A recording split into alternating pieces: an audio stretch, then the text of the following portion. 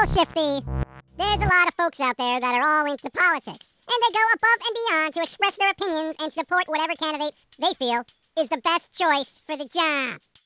Why? I mean, not for nothing, but doesn't it seem that every politician in office is a complete jackass? Well, some people will say, well, he or she is a politician who really cares. Bullshit! Politicians don't care. Period. Not one bit. Nothing. No caring at all. Who the hell gave you the idea that any politician is actually working in the interest of the American people?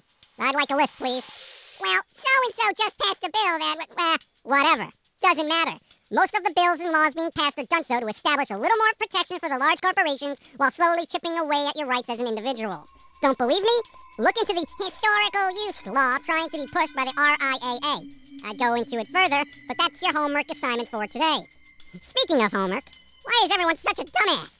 Is the education system so poor that it's just creating a generation of mindless consumers that have no opinions and are perpetually stuck in a semi-conscious state? I know I've lost a few of you already, but don't you find it odd that our public school systems have been producing shit for the last 30 years? Well, the schools aren't getting the necessary funding. Well, why is that? The politicians aren't giving public schools the necessary funding. Well, why is that?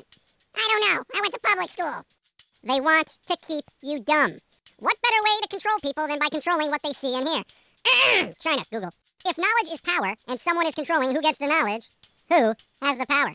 Huh? Huh? Making sense? No! I went to public school and I enjoy my career at the mall. So, now that we've established that politicians underfund public schools to keep people dumb, what about those special folks who have the means to go to a private school? Surely they have a better shot at earning an education. True, but not to worry.